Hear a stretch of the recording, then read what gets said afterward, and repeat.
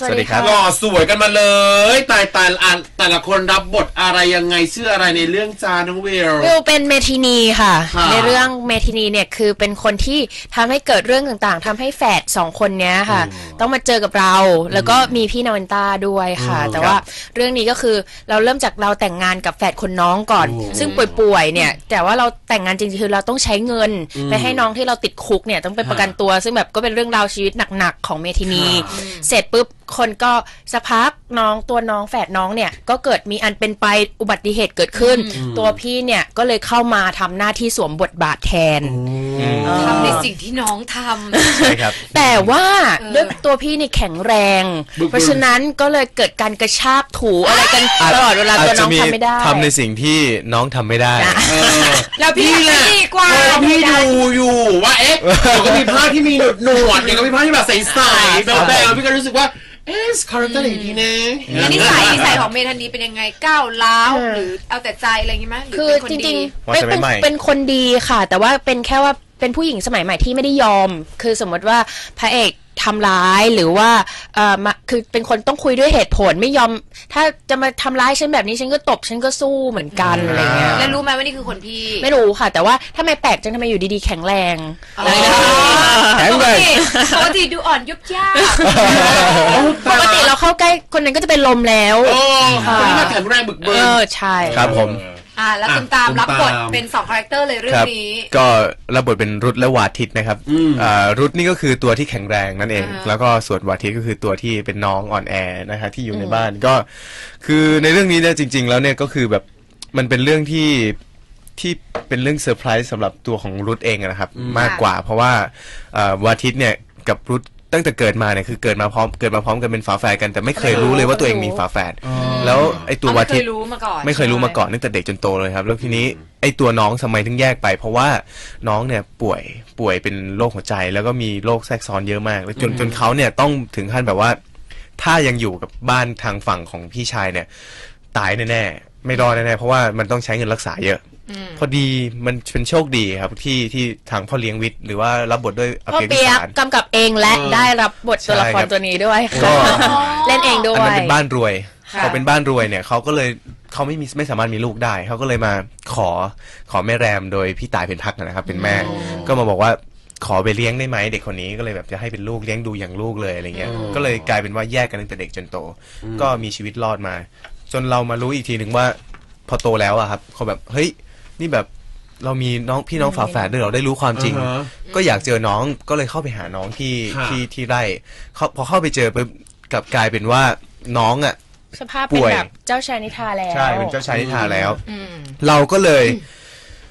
ทำยังไงดี น้องก็ไม่ได้เจอแล้วน้องก็ป่วยสภาพนี้เนี่ย มันมันเราจะต้องแก้ไขกดมันยังแค้นไงแทเนี่ยนแหละก็ตามก็เลยแบบหาที่ทำใครเป็นคนร้ายทำร้ายน้องอะไรเงี้ยฮะก็ตามหา ใช่ใช่ครับแล้วก็มาคิดว่าเมทินีซึ่งวิวเล่นกับเอ่อเหมือนรวมหัวกับพี่ต้าซึ่งเป็นเออชู้ใช่ อะไรอย่างงี้ ใช่ครับ มีความร้ายกาจฉะนันค่ะต้องมีการแก้แค้น เอาล่ะ เรามาถามผู้จัดคนสวย พี่อ้อมวันนี้พิยดาพี่อ้อมพิยดาขึ้นแท่นเป็คนรับผู้จัดเรียบร้อยแล้วนะคะแล้วสวัสดีค่ะ สวัสดีค่ะ ทั้งสอครังบผมคนนะ อ่า พี่อ้อมอยู่ในแฉแต่เช้านะคะ ต้นหอมบุโกะน้องตุมตามแล้วก็น้องวิวค่ะรู้เรื่องหมดละ น้องจ๋าอะตอนจบเป็นยังไงละครที่เขาเล่าไม่ได้สิยังยัง มามาเป็นผู้จัดเรื่องนี้เป็นยังไงบ้างคะนักแสดงนักแสดง อะไรนะ เป็นนักแสดงใช่ไหมนักแสดงเป็นยังไงบ้างคะสออังนคนนี้นี้ เรื่องแรกของพี่อ้อมไหมคะที่ขึ้นเป็นผู้จัดเต็มตัว ใช่เป็นเรื่องแรกเลยค่ะที่เล่นเป็นผู้จัดเต็มตัวอย่างนี้ ค่ะ อ่าขอถามหน่อยว่าเหตุผลการเลือกนักแสดงพระเอกนางเอกสองคนนี้ทำไมถึงเป็นตูมตามแล้ววิวคะ คะก็ทั้งวิวทั้งตูมตามเนี่ยเขาก็ส่งมาให้เลือกด้วยตอนแรกว่าแบบค่ะว่าที่บริษัทของเรามีใครบ้างเอ๊ะ เราก็ดูว่าคาแรคเตอร์เรื่องนี้จะบอกกับใครอะไรอย่างเงี้ยแล้วก็บวกกับเอ่อคุณพ่อด้วยผู้กำกับนะคะค่ะเรื่องนี้คือคุณพิสารนะคะ ค่ะก็ได้เห็นตูมตามแล้วตอนแรกเขาก็เอ๊ะตูมตามลองมาดู เอาตัวมาดูซิอืม ว่าจะเล่นได้ไหมเหมาะกับบทไหมพอมาดูตัวปุ๊บพ่อเขาก็เหมือนมีเคมีตรงกันเขาก็บอกเอาคนนี้แหละ ดูซิเขาต้องได้แน่เลย ยิ่งอ่าแล้วพอทำงานไปปุ๊บใช่เลยคาแรคเตอร์นี้ตูมตามเลยค่ะแล้วก็เล่นได้ดีมากทำได้ดีมาก ในบททั้งทั้งสองคาแรคเตอร์ทั้งวาทิตค่ะแล้วก็รุดด้วยค่ะเออมามานางเอกบ้างนางเอกของเราน้องวิวค่ะ พี่ขานางเอกนี่คือออเดอร์เองเลยค่ะอ๋อเป็นน้องออเดอร์เลยด้วยนะคะ แล้วก็จิกกัดได้เจ๊ค่ะเจ๊ตรงนั้นนั่นเองสำโขคัญกสับได้ก็คือว่า วิวเขาสวยอยู่แล้วแล้วการแสดงเนี่ยเราก็เห็นเขาเล่นเก่งอยู่แล้วอะไรเงี้ยพอมาถึงปุ๊บพอเราบอกอะไรน้องก็ทำได้เอออย่างที่บอกเลยเอาร้องไห้ตรงนี้ ตรงนี้อารมณ์มากขึ้นน้อยลงอะไรเงี้ยน้องทำได้หมดเลย แล้วก็บวกกับความสวยเนี่ยไม่ต้องพูดถึงสวยมากอ๋อคุณชื่ออยู่แล้วในวงการ เรื่องสวยครับฮะอืมเขาขึ้นชื่ออยู่แล้วเรื่องความสวย สวยไหพี่มคะบุโกะสวยมากค่ะสวยค่ะสวยค่ะพี่พี่อ้อมบุค่ะโกะไหมคะสวยสุสวยกว่าหนูนิดนึงก็ได้ค่ะพี่อ้อมค่ะ พี่อ้อมค่ะบุโกมาเล่นให้พี่บ้างนะ ได้เลยพี่อ๋อจัดเลยจัดเลย พี่อ้อมทำไมถึงเลือกละครเรื่องเงาใจ คือจริงๆเขาก็ส่งมาให้เลือกหลายเรื่องอะนะคะค่ะบริษัทก็จะมีเรื่องแบบวรรณกรรมต่างๆ บริษัทก็จะมีซื้อไว้เรื่องนั้นเรื่องนี้อะไรอย่างค่ะเงี้ย พอได้อ่านเรื่องนี้ปุ๊บมัน เออชอบอะ มันน่าจะถูกใจคอคนดูค่ะคนไทยแบบเนี้ย คือเรื่องเรื่องมันมันมันน่าสนใจน่าติดตาม แล้วมันก็ครบรถอะค่ะค่ะอีกอย่างหนึ่งคือเรามาเสริมเพิ่มอย่างอื่น มันเสริมเอ่อเสริมฉากกุ๊กกิ๊กเสริมฉากอะไรอย่างเงี้ย เข้าไปได้อีก เพราะว่าคุณชูวงศ์ฉายจินดาเนี่ยเขาถนัดพวก พวกเรื่องสลับร่างสร้างรักอ๋อสร้างเขียนตัวกันอะไรอย่างเงี้ย แล้วมันจะแบบเหมือนก็มีความรู้สึกพออ่านปุ๊บเราเนี่ย ใส่เรื่องเข้าไปได้อีกอะไรอย่างงี้อะไรนะ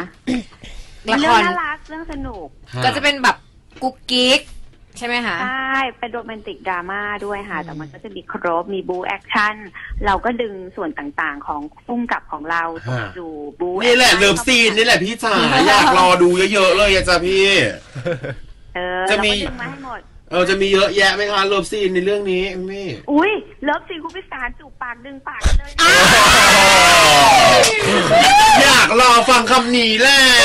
ใจว่า ถ้าไม่เป็นฟรีทีวีจะได้ออกไหม อาหารนักแสดงบ้างเป็นยังไงเลิฟซีนนี่มันแบบดุเด็ดเผ็ดมันขนาดผ่านไปนี้ยังอันนั้นอันนั้นดุเด็ดค่ะ มันเนี่ยเป็นของคุณนาวินต้าใช่อ๋อที่ดึงถึงปากอะเป็นพิต้ากับที่ดิดุว มากคือของพี่พี่นาวินต้ากับดิวอริขสองลาเราคบนี่ก็ safe ลงมานิดนึง ของเราจะเป็นแบบว่าเอ่อเดินทางด้วยด้วย love อะไรอย่างงี้มากกว่าครับอ่าแต่พูดได้โอเคกัดปากกัดึงปาก โอ้ยดึงโอ้ยตายละครับผม พี่ พี่อ้อมให้ฝากละครเรื่องนี้หน่อยในฐานะ ผู้จัดครั้งแรกคาดหวังยังไงบ้าง เราก็คาดหวังให้ให้มันดีที่สุดแล้ววันนี้เดี๋ยวเดี๋ยวมีน้องๆเขานัดไปดูกันที่บ้านอ้อมค่ะอ่าอะไรเงี้ยไปดูละครวันแรกกันอะไรเงี้ยอืม ก็คือเป็นกำลังใจให้กับให้กับน้องๆด้วยแล้วก็ให้กับเอ่อผู้จัดหน้าใหม่ด้วยนะคะยินดีได้ค่ะ ก็พี่จริงๆแล้วคือเราก็เหมือนแบบ ตอนนี้เหมือนแบบเราทำสอบเสร็จแล้วอะค่ะ ทำข้อสอบดีที่สุดแล้วที่เราเราคิดว่าเราจะทำได้นะสถานการณ์ทุกอย่างที่เกิดขึ้นเนี่ย ค่ะ เราก็พยายามทำให้ดีที่สุดทีนี้ก็